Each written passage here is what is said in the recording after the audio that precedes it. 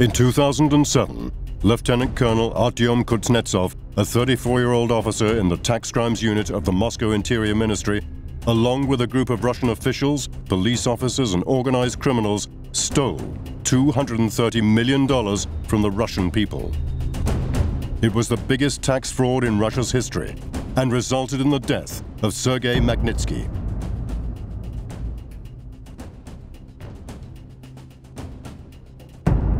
Lieutenant Colonel Artyom Kuznetsov played a key role in the tax fraud conspiracy and in the death of Sergei Magnitsky.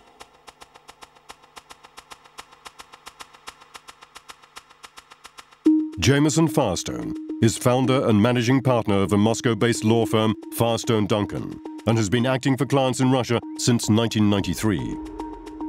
It all began in 2007 when Lieutenant Colonel Artyom Kuznetsov from the Ministry of Internal Affairs led two raids uh, in Moscow to confiscate the documents of three companies that belonged to Hermitage Fund. Within months of those documents being in the possession of the Ministry of Interior, they were used to change the owner and director of the Hermitage companies to a convicted killer, Viktor Markelov. And then the companies applied for a fraudulent $230 million tax refund, which they received in one day in October of 2008, my colleague Sergei Magnitsky, who managed the tax and audit department of my Moscow law firm Firestone Duncan, discovered the fraud. He gave official witness testimony against Lieutenant Colonel Kuznetsov and his colleague Major Pavel Karpov. He detailed how they were involved in the theft of the $230 million. Within one month of Sergei testifying against the officers, Lieutenant Colonel Kuznetsov had Sergei arrested. Once Sergei had been detained, he was refused bail. They held him in prison for a year, and he was subjected to incredible psychological and physical pressure, uh, torture in prison, to retract his testimony against the officers uh, Kuznetsov and, uh, and, and Karpov, which he refused to do. While Sergei was being tortured and pressured to withdraw his claims, the Lieutenant Colonel Kuznetsov aided the $230 million theft. The Kuznetsov family became rich. According to the records of the Unified State Register of Real Estate Rights, since 2007, the Kuznetsov family has acquired real estate in and around Moscow worth over $3 million. This is all registered to his pensioner parents, who each receive a monthly pension of $180, and who, according to bank records, have a total combined income of $4,500 per month. In 2007, Lieutenant Colonel Kuznetsov's mother, Lilia Georgievna, became the registered owner of an exclusive 155 square meter condominium in the prestigious new Edelweiss high-rise in Moscow. The apartment is just off Kutuzovsky Prospect, with views over Park Pobedi, and has a market price of $1,640,000. Shortly after this, in 2008, the Kuznetsov family acquired another apartment, this time registered to Kuznetsov's father, Konstantin Artyomovich. This 85 square meter condominium is in Moscow's impressive new development, the Capital Constellation Tower. The apartment has a market value of close to $1 million. These two new apartments, registered to Kuznetsov parents, are in addition to the three-room apartment in Moscow that they acquired in 1994 and still own. The Kuznetsov family also acquired land plots in the countryside in the Pushkino village, Noginsky district, just outside Moscow. These three land plots are registered to Kuznetsov's mother.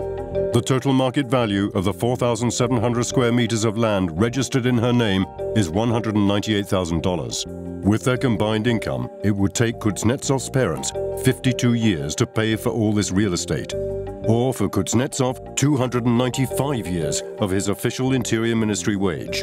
And it wasn't just real estate that they bought. According to the records of Moscow's traffic police, Lieutenant Colonel Kuznetsov's mother bought the latest model Land Rover Freelander 2 for $65,000. Lieutenant Colonel Kuznetsov's wife Nina purchased a brand new top-of-the-range Land Rover which cost $131,000. She also became the owner of a brand new Mercedes-Benz SLK 200 convertible, which cost an additional $81,000. Since the theft of the $230 million, the total value of purchases made by the Kuznetsov family, identified in official records, was over $3 million.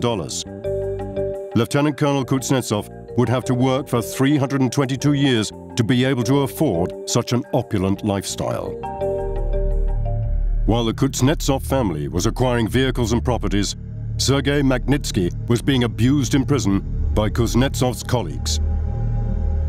His captors tried to force him to withdraw his testimony about Kuznetsov and Karpov's involvement in the theft, and to bully him into a false confession to justify his arrest and detention.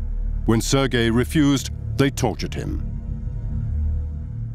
Sergei kept a, a, diary while in prison describing the conditions that he was subjected to. He was put into a cell with eight prisoners, four beds, lights on 24 hours a day, no glass in the windows, and no heat. People had to sleep in shifts. They couldn't sleep, and they were freezing all of the time. Then he was moved from cell to cell, each time losing all his belongings along the way. Then he was put into a cell that was flooded with sewerage, where it was impossible to move unless you were jumping from bed to bed. He was denied access to showers, to clean water. Uh, the, the hygiene conditions were absolutely impossible. And he was consistently refused meetings with his family. He was even refused telephone calls with his children. He sat 11 months in detention and died never hearing the voices of his children again. Sergei's health began to break down. He lost 40 pounds, and he was in constant pain. He was diagnosed in prison with pancreatitis and, and gallstones and needing an operation, and he made hundreds of requests for medical care. But the officers involved denied his request for medical care as a means of increasing the pressure on him to change his testimony. From the time of the theft, and while Sergei Magnitsky was slowly dying, Lieutenant Colonel Kuznetsov was living a very different kind of life. According to Border Service Control records, he traveled the globe in style. He went to Dubai. He celebrated the New Year in Cuba and spent three weeks in France. He made three trips to Italy, including a three-week driving tour of the country with his wife. He visited London.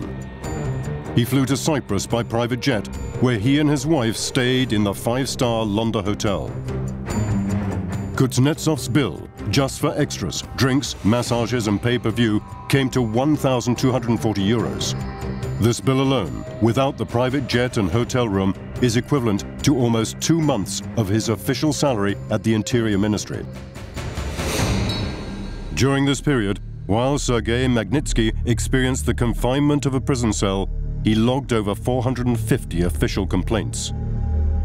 On October 13, 2009, Sergei once again made a statement from prison detailing Lieutenant Colonel Kuznetsov's complicity in the theft of $230 million from the Russian people.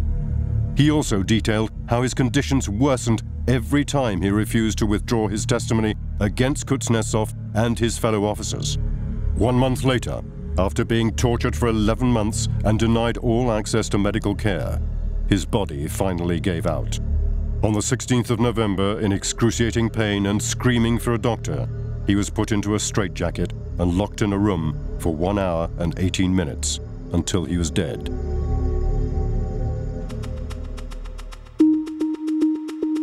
After Sergei Magnitsky died, the Moscow Public Oversight Committee carried out a full investigation into Sergei's death.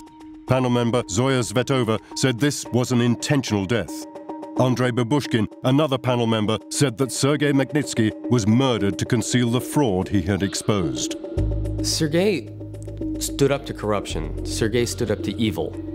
Sergei believed that to make this country a decent place for our children, for ourselves, that we had to fight these things. And Sergei died a hero, and it's time we recognize that. If this war on legal nihilism is to succeed, the government must support the people who fight corruption. The officers responsible for the arrest and death of Sergei Magnitsky must be punished. Instead of being prosecuted, Lieutenant Colonel Kuznetsov was given a major promotion from the Moscow City Tax Crimes Office to the Federal Department of Economic Security. Three years before Sergei died, the same officers, Lieutenant Colonel Kuznetsov and Major Karpov, acting with the same convicted killer, Viktor Markelov, were accused of kidnapping Fyodor Mikheyev in 2006 with an attempt to extort $20 million. To cover up their crime, they sent Fyodor Mikheyev to prison for 11 years, where he is to this day. They should have been stopped then. Instead, they went on to arrest, torture, and kill Sergei Magnitsky to hide their crimes. Crimes that they committed against their own government and the people they were sworn to protect. Unless they are stopped, the same criminal group will continue to steal, murder, and cover up their crimes. Lieutenant Colonel Kuznetsov uses his position to steal and destroy lives He's become a very rich man and believes his uniform makes him untouchable. It's time to prove him wrong. Russia deserves better.